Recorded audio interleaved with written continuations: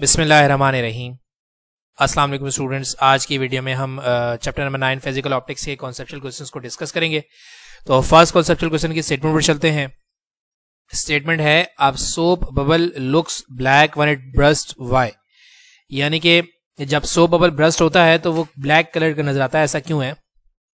तो उसकी वजह है बेसिकली हमारे पास डिस्ट्रक्टिव इंटरफेरेंस क्योंकि हम लोगों ने पढ़ा हुआ है कि सोप बबल के अंदर जब इंटरफेरेंस होती है, जिसकी वजह से हमने जो डिफरेंट कलर नज़र आते हैं तो जब वो ब्रस्ट हो रहा है तो वो ब्लैक कलर का ऐसे वैसे नज़र आया क्योंकि हमारे पास जो डिस्ट्रक्टिव इंटरफेरेंस हो रही है।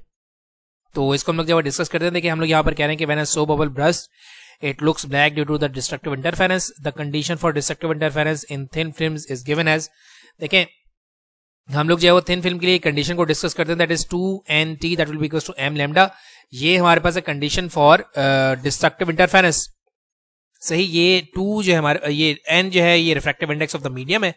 टी हमारे पास जो थिकनेस है एम हमारे पास क्या है? ऑर्डर ऑफ़ इंटरफेरेंस है और लेमडा हमारे पास क्या है? वेवलेंथ है।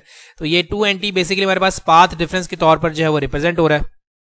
तो होता ही है कि जब आपका सोप बबल जो है वो ब्रस्ट होता है तो उसकी थिकनेस बिल्कुल क्या हो जाती है? ज़ीरो हो जाती है।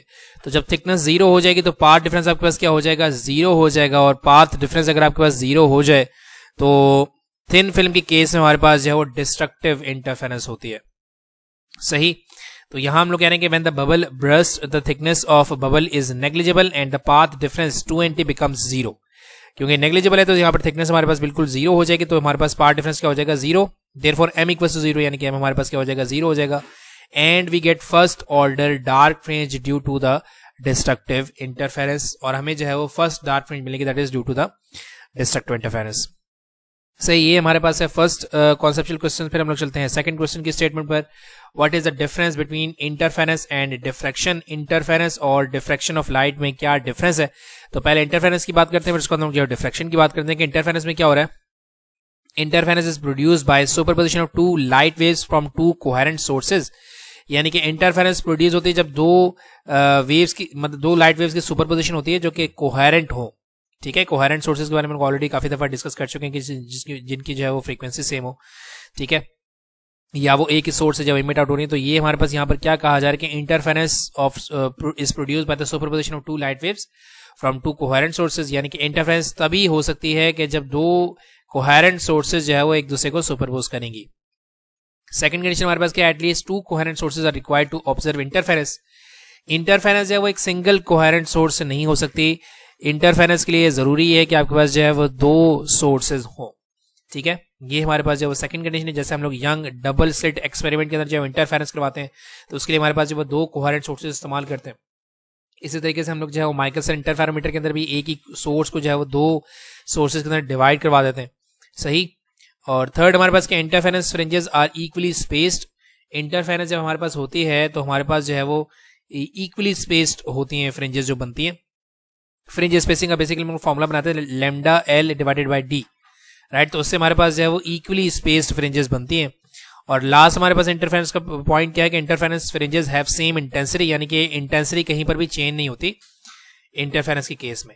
इसका मतलब जो डिफ्रेक्शन की बात करते हैं। डिफ्रेक्शन क्या diffraction is produce by spreading of light around the corner of the obstacle यानी कि आपकी लाइट जब स्ट्रेट लाइन में ट्रेवल करती है जब वो किसी जो है वो ऑप्सिकल से टकरा जाए तो क्या कर जाती है? बैंड कर जाती है स्प्रेड कर जाती है that is called the diffraction right अब डिफ्रेक्शन के लिए हम लोगों ने जो है, देखिए डिफ्रेक्शन फ्रॉम सिंगल स्लिट भी पढ़ा और हम लोगों ने जो डिफ्रेक्शन ग्रेटिंग भी पढ़ा तो इसका मतलब ये है कि डिफ्रेक्शन जो है वो एक सिंगल सोर्स से की जा सकती है।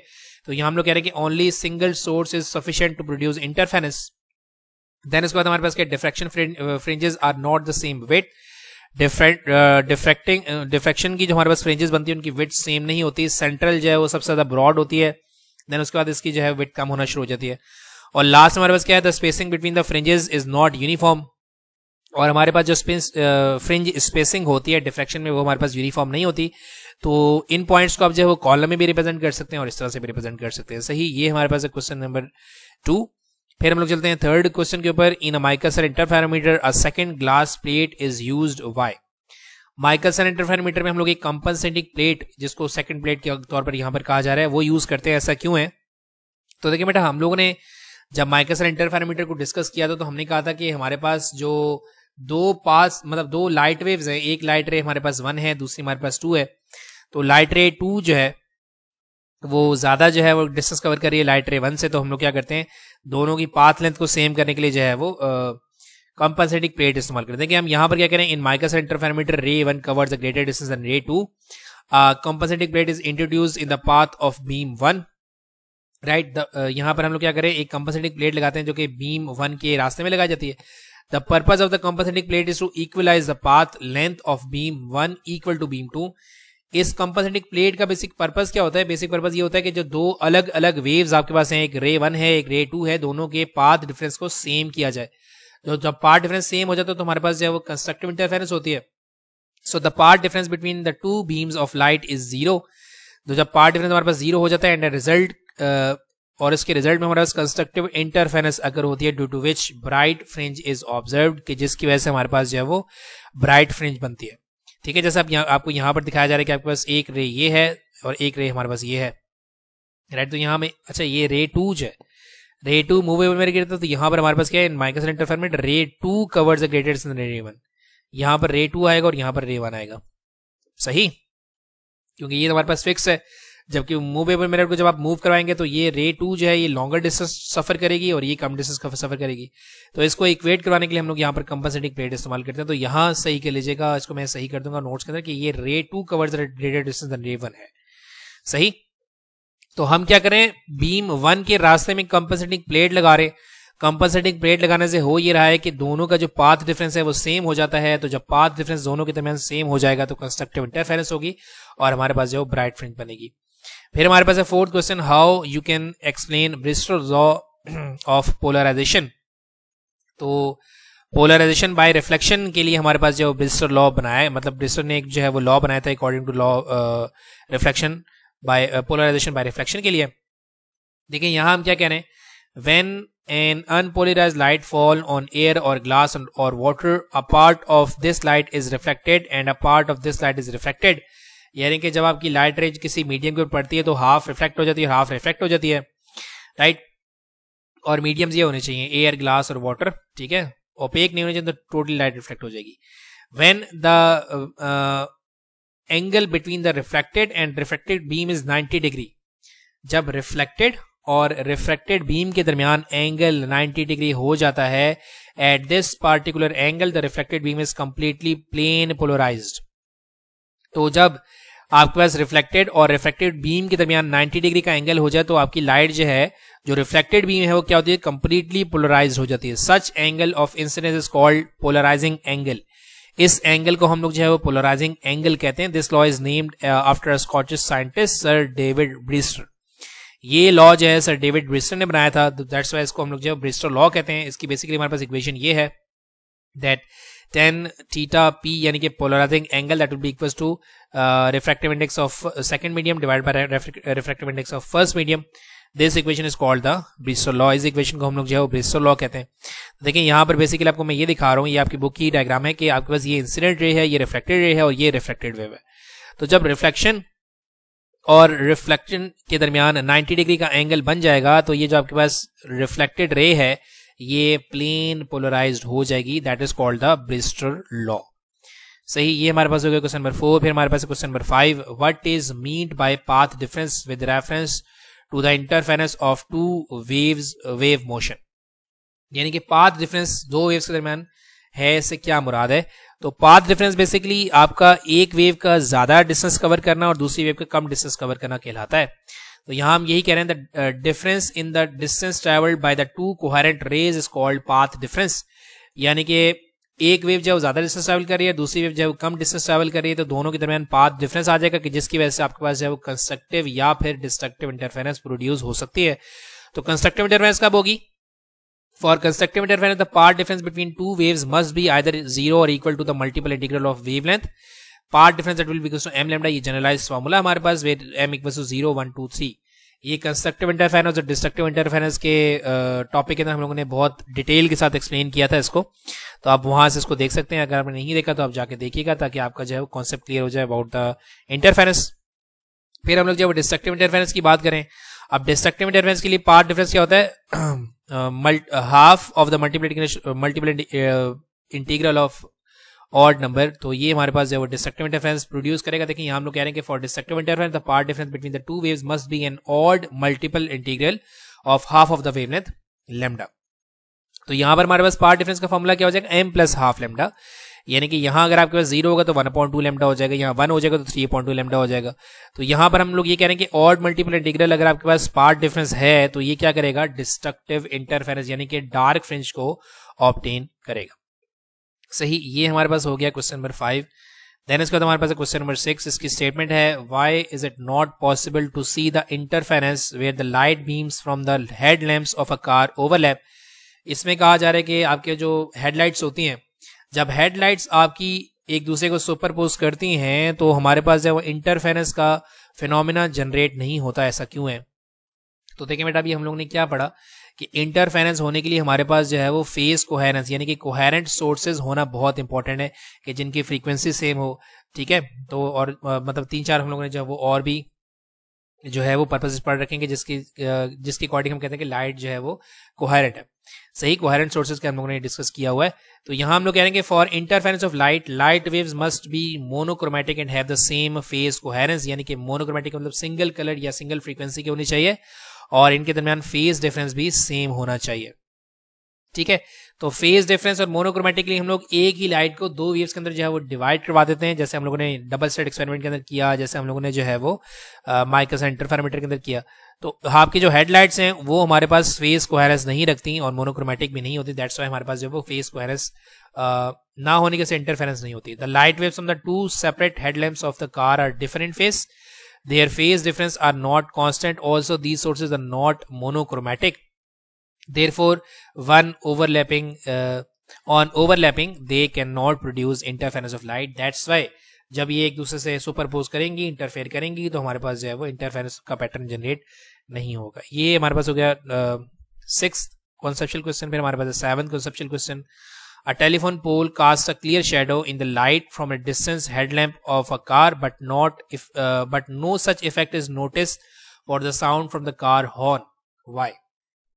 इस क्वेश्चन में ये कहा जा रहा है कि जब हेडलाइट पोल के ऊपर पड़ रही है तो आपके पास बिल्कुल क्लियर शेडो बन रहा है जबकि साउंड जो है इस किस्म का क्लियर इफ़ेक्ट जनरेट नहीं कर पा रही है ऐसा क्यों है ऐसा इस वजह से है कि हमने डिफ्रैक्शन के बारे में पढ़ रखा है कि आपकी जो लाइट है, वो जब ऑप्सिकल के अंदर से पास आउट होती है तो डिफ्रेक्ट हो जाती है कि जिसके हिसाब के पास जो वो शेडो भी जनरेट हो सकता है।